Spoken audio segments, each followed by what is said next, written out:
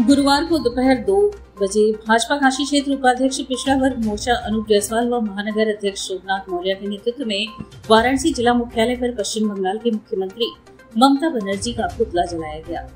इस दौरान वक्ताओं ने कहा कि द्वारा मुस्लिम तुष्टिकरण व वोट बैंक की राजनीति के चलते ओबीसी आरक्षण को छल राजनीति से पिछड़ा वर्ग समाज को भयंकर क्षतिग्रस्त किया गया है।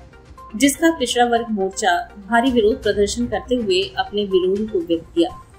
कार्यक्रम में अनुप जायसवाल शोभनाथ मौर्य ने लोगों को संबोधित करते हुए कहा कि इंडी गठबंधन लगातार पिछड़ों के हक पर जहाँ जहाँ इनकी सरकार है, हम पिछड़ा वर्ग के लोगों के संवैधानिक अधिकार पर लगातार कुठारघात करने का काम करता रहा है। पिछड़ा समाज इन्हें लोकतांत्रिक तरीके से इसका जवाब इंडी गठबंधन को देगा। कार्यक्रम का संचालन ओम प्रकाश यादव, धन्यवाद शंभू पटेल ने किया। कार्यक्रम में मुख्य रूप से Sunil advocate Siddhnath Gaur, Alok, Rajesh Maurya Anoop Gupta advocate lucky Verma, Rohit Maurya, Chandrashekhar Vishwakarma, Satish Verma, Suraj Seth, Vikas गिरी, प्रदीप जायसवाल, गोपाल जी आदि उपस्थित थे।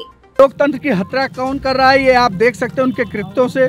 कि किस तरह से बंगाल में अगर कोई भाजपा का कार्यकर्ता काम करता है, एक राजनीतिक पार्टी को हक होता है अपने काम करने का, अपने झंडा, कोई झंडा लगाता है, उसको मारा जाता है, कोई भाजपा का बैनर अपने यहाँ लगा लेता है, उसको मारा जाता है, और उसके बाद तमाम इस तरह के कभी बलात्कार के केस पूरे के पूरे जगह पर दिखाई देते हैं। तो लोकतंत्र की हत्या कौन कर रहा है? पिछले चुनाव में आपने देखा था कई जगह हेलीकॉप्टर नहीं उतरने दिया गया, माननीय अमित शाह जी का।